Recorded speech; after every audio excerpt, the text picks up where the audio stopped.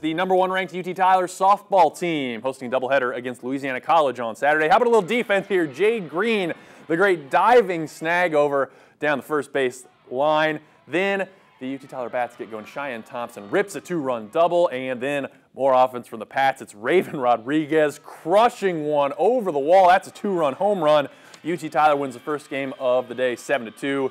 Pats also took game two by the score of 3 to 2.